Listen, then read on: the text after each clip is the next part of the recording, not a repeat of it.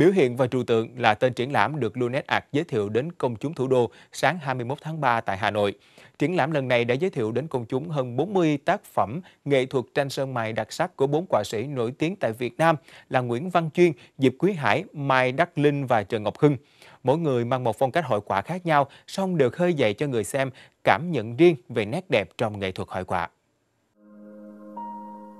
Bình dị, gần gũi, thân thuộc là những gì người xem thấy được khi thưởng lãm những tác phẩm tranh sơn mai của họa sĩ Nguyễn Văn Chuyên.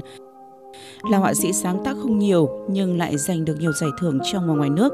Mỗi tác phẩm của anh đều mang đến những trải nghiệm sâu sắc về cuộc sống, khơi gợi sự tò mò cho người xem. Bức tranh Mẫu tử được anh sáng tác năm 2010 là một minh chứng cho điều đó. Thế là mình muốn nói đến cái ý tưởng tức là cái sự Ờ, chở che của người mẹ là rất là vĩ đại đối với tuổi trẻ ở trong cái vòng tay của mình. Đấy là một cái mình muốn thể hiện nhưng mới với một cái cái cái cái ờ, hình tượng khái quát nhất. Đấy thì là nó sẽ giúp cho người xem được thấy được cái hình tượng ở trong cái cái, cái, cái cách sáng tác của mình là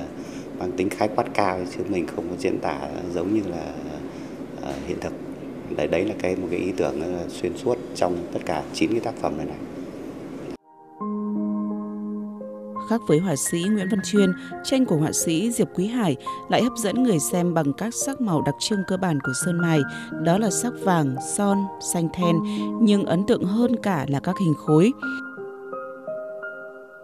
Tranh của anh mang lại những ký hiệu thông tin thị giác đơn giản như các vòng tròn nối nhau, vạch nối, hình sóng uốn lượn tạo thành một tổng thể dễ gợi liên tưởng những vạch mã hoa văn thời tiền sử trên trống đồng Đông Sơn.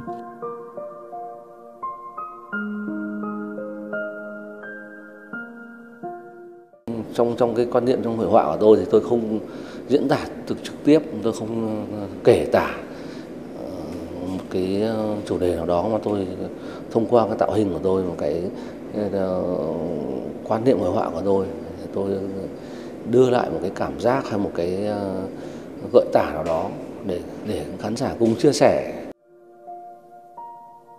Bên cạnh đó, những tác phẩm của họa sĩ Mai Đắc Linh lại dung hòa các chất liệu truyền thống của sơn mài Việt Nam với ngôn ngữ tạo hình hiện đại để thể hiện tinh thần nghệ thuật phương Đông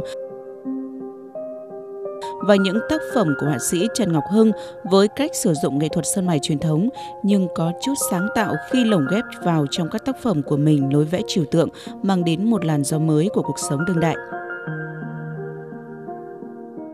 Thế thì ngày hôm nay uh, Lunet Art tổ chức cuộc triển lãm tranh sơn mài biểu hiện và trừu tượng là chúng ta sẽ có một cái cái nhìn rất là khác trên chất liệu sơn mài khi mà thế giới đang đi tìm kiếm một chất liệu tổng hợp cho những uh, một chất liệu mới về hội họa. Thì chúng ta có một cái lợi thế lợi thế rất là lớn. Việt Nam chúng ta là lợi thế về uh, sơn mài truyền thống. Trên uh, chất liệu son then là những cái chất liệu màu nó rất là là mạnh và nó rất là truyền cảm với một cái mong muốn rằng à, một cái không gian triển lãm một cái văn hóa thưởng thức và cũng muốn truyền thông đến với lại công chúng rằng là chất liệu sơn mài của chúng ta rất là tuyệt vời trên rất nhiều phong cách Triển lãm biểu hiện và trừu tượng sẽ kéo dài đến hết ngày 21 tháng 5 tại khách sạn Pan Pacific Hà Nội, số 1 đường Thanh Niên.